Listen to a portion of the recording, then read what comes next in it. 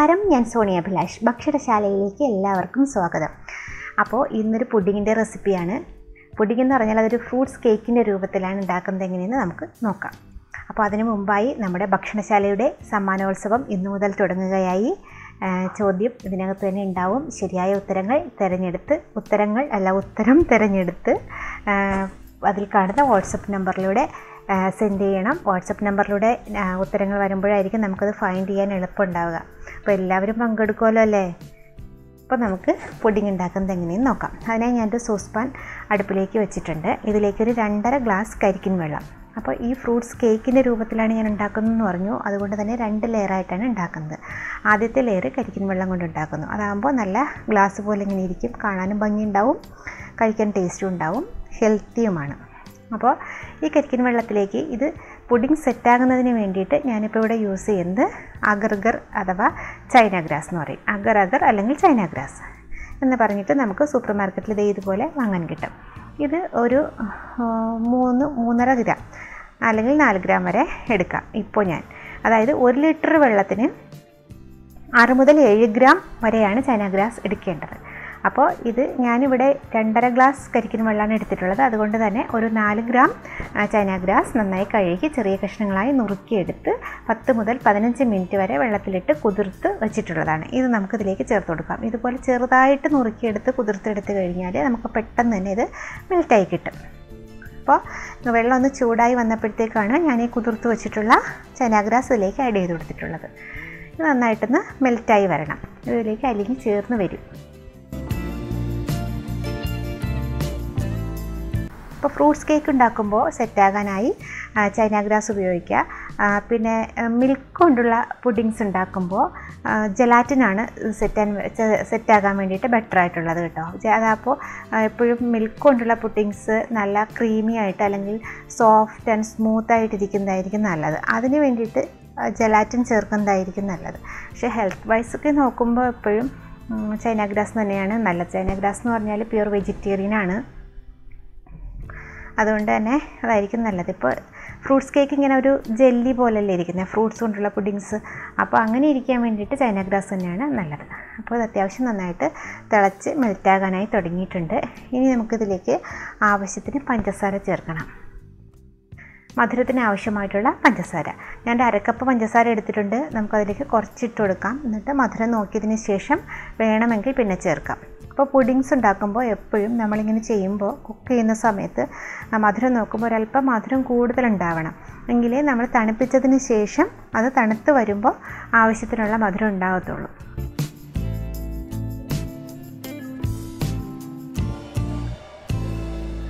പഞ്ചസാര എല്ലാം നന്നായിട്ട് ഒന്ന് മെൽറ്റായി വരട്ടെ. പഞ്ചസാരയും ഈ ചൈന ഗ്രാസൊക്കെ നന്നായിട്ട് മെൽറ്റായി വന്നപ്പോഴേക്കും ഞാനൊരു നുള്ള് ഒരു പിഞ്ച് ഉപ്പിട്ടെടുത്തു. ഒരല്പം ഉപ്പ്. ആ മധുരം ഒന്ന് ബാലൻസ് ചെയ്യുന്നതിന് വേണ്ടി മാത്രം ഒരല്പം ഉപ്പിട്ടെടുത്തു.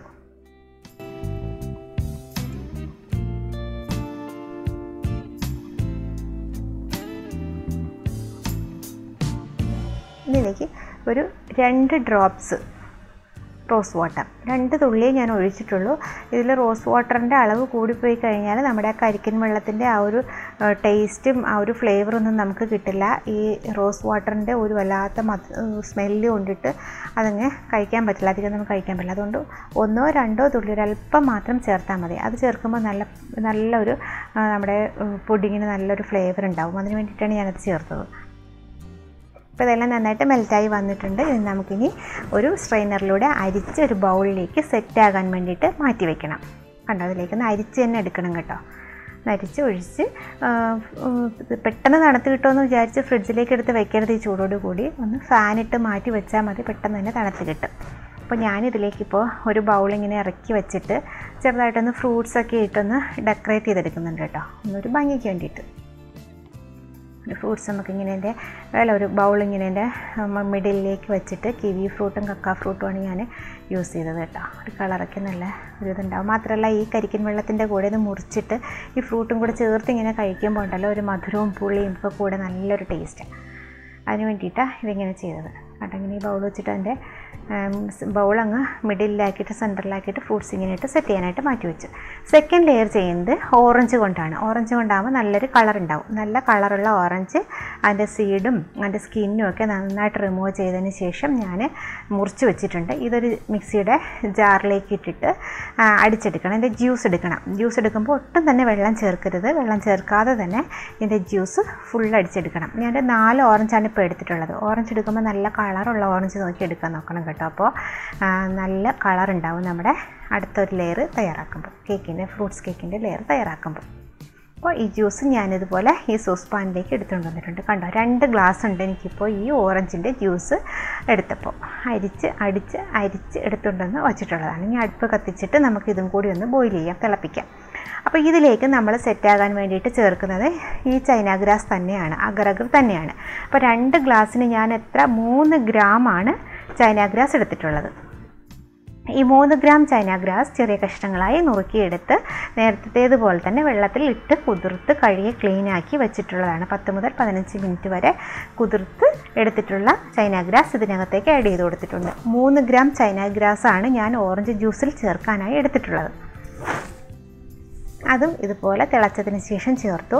ഈ ചൈന ഗ്രാസും കൂടി നന്നായിട്ടങ്ങ് മിക്സ് ചെയ്ത് മെൽറ്റ് ചെയ്ത് അരിയിച്ചെടുക്കണം നമുക്ക് ഇതിനകത്തേക്ക് തിളച്ച് വരുമ്പോൾ പെട്ടെന്ന് തന്നെ അരിഞ്ഞ് കിട്ടും. ഇതിലേക്ക് നമുക്ക് മധുരത്തിന് ആവശ്യമായ പഞ്ചസാര ചേർക്കണം. കുറച്ച് ചേർക്കാം. മധുരം നോക്കിയതിന് ശേഷം വേണമെങ്കിൽ പിന്നെ ചേർക്കാം. അതായത് ഓറഞ്ചിന്റെ മധുരം നല്ല പുളിയുള്ള ഓറഞ്ച് ആണെങ്കിൽ കൂടുതൽ മധുരം ചേർക്കേണ്ടി വരും. അപ്പോൾ ഓരോ ഓറഞ്ചിന്റെയും മധുരത്തിനനുസരിച്ച് വേണം പഞ്ചസാര ചേർക്കാൻ. ഇതും കൂടി നന്നായിട്ടങ്ങ് തിളച്ച് വരട്ടെ.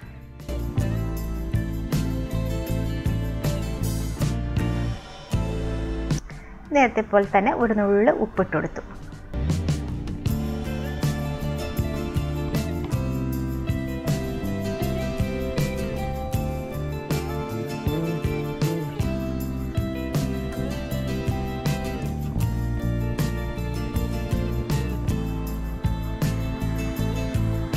രണ്ട് ഡ്രോപ്സ് റോസ് വാട്ടർ കൂടി ഒഴിച്ചു കൊടുത്തു. റോസ് വാട്ടർ കുറച്ച് മാത്രമേ ഒഴിക്കാവൂ. ഒന്നോ രണ്ടോ തുള്ളി. അത് മതി. ഒരു ചെറിയൊരു ഫ്ലേവറിന് വേണ്ടിയിട്ട്. പക്ഷേ ആ ഫ്ലേവർ നല്ലതായി പുഡിങ് ഇത് കേക്ക് കഴിക്കുമ്പോൾ നമുക്ക് നല്ലൊരു ടേസ്റ്റ് തരും കൂടിപ്പോയി കഴിഞ്ഞാൽ കഴിക്കാൻ പറ്റത്തുമില്ല. അത് പ്രത്യേകം ശ്രദ്ധിക്കണം.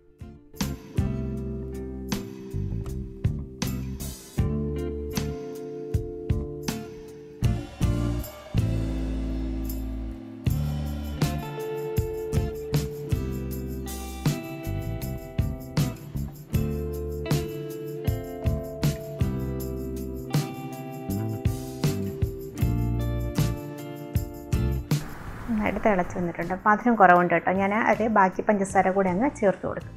നല്ല മധുരം ഉണ്ടെങ്കിൽ നമുക്ക് തണുത്ത് വരുമ്പോൾ ആ ഒരു ആവശ്യത്തിനുള്ള മധുരം ഉണ്ടാകത്തുള്ളൂ. ഇപ്പോൾ ഇച്ചിരി മധുരം കൂടുതൽ നിൽക്കണം.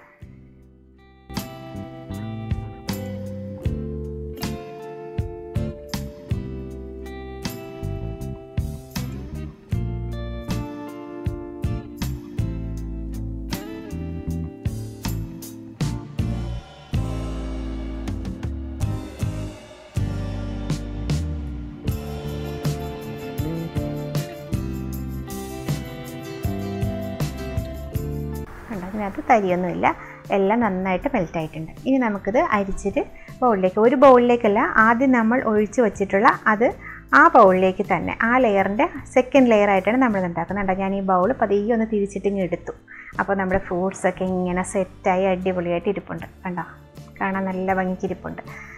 ഇതിലേക്ക് നമുക്ക് ഒരു ടൂത്ത് പിക്ക് കൊണ്ടൊന്ന് ചെറുതായിട്ട് ഇങ്ങനെ ഒന്ന് ഇൻസേർട്ട് ചെയ്തതിന് ശേഷം അടുത്ത ലെയർ ഒഴിക്കാം.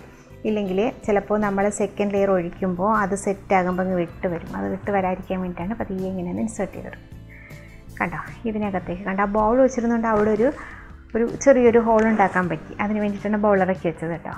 ഇതിനകത്തേക്ക് പൊമിഗ്രാനൈറ്റാണ് ഞാൻ ഇടുന്നത് നല്ലൊരു ഭംഗിക്ക് വേണ്ടിയിട്ട്. ഫ്രൂട്ട്സ് കേക്ക് അല്ലേ? അപ്പോൾ നല്ലൊരു ഭംഗിയായിട്ട് ഉണ്ടാക്കാമെന്ന് വിചാരിച്ച് ചെയ്തതാണ്.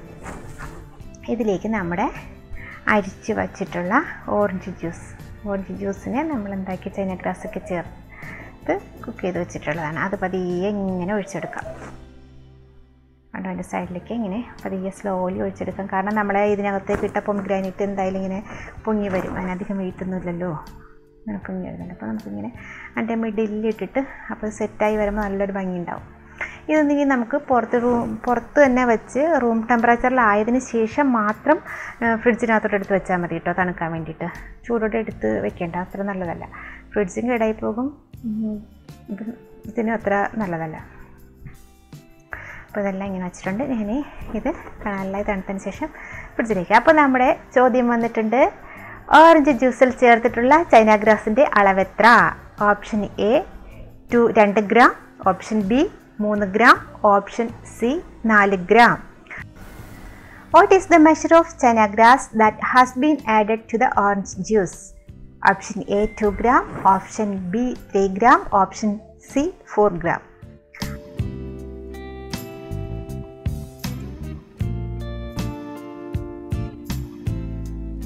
Pudding fruits cake ഫ്രിഡ്ജിനകത്തുനിന്ന് ഞാൻ എടുത്തുകൊണ്ട് വന്നു. ഡീമോൾട്ട് ചെയ്തു. ആ ബൗൾ പതിയെ എടുത്ത് മാറ്റി. കണ്ടില്ലേ? അടിപൊളിയായിട്ടുള്ള നമ്മുടെ ഫ്രൂട്ട്സ് കേക്ക് നല്ല ജെല്ലി പോലെ റെഡിയായി ഇരിപ്പുണ്ട് ഇതിനെ നമുക്ക് ചെറി ഫ്രൂട്ട് വെച്ച് ഒന്ന് നന്നായിട്ടൊന്ന് ഡെക്കറേറ്റ് ചെയ്തെടുക്കാം. അലങ്കരിച്ചെടുക്കാം. അപ്പോൾ ക്രിസ്മസിന് എല്ലാവരും ഈ ഫ്രൂട്ട്സ് കേക്ക് തയ്യാറായി നോക്കുക. ഞാൻ ക്രിസ്മസ് ഗിഫ്റ്റായി നിങ്ങൾക്ക് ആദ്യം തന്നെ ഒരു കേക്ക് തന്നിട്ടുണ്ട്. അപ്പോൾ പതിയെ ഇങ്ങനെ കട്ട് ചെയ്ത് നോക്കൂ കേട്ടോ നല്ല ജെല്ലി പോലെ നല്ല സോഫ്റ്റായിട്ട് അടിപൊളിയായിട്ട് ഇരിപ്പിട്ട് പതിയെ സോ പതിയെ എടുക്കണം പൊടിഞ്ഞു പോകാതെ. പൊടിഞ്ഞു പോകില്ല ഒന്ന് കെയർഫുൾ കെയർഫുള്ളാകുക പതുക്കെ ഒന്ന് എടുക്കുക. എടുത്ത് നമ്മുടെ കേക്ക് കണ്ടോ അടിപൊളിയായിട്ട് റെഡിയായി വന്നിട്ടുണ്ട്. എല്ലാവരും തയ്യാറാക്കി നോക്കുക. വീഡിയോ ഇഷ്ടപ്പെട്ടാൽ ഷെയർ ചെയ്യാനും ലൈക്ക് ചെയ്യാനും സബ്സ്ക്രൈബ് ചെയ്യാനും മറക്കരുത്. അടുത്തൊരു വീഡിയോ ആയിട്ട് നമുക്ക് വീണ്ടും കാണാം. താങ്ക് യു സമ്മാനോത്സവത്തിൽ എല്ലാവരും പങ്കെടുക്കണം കേട്ടോ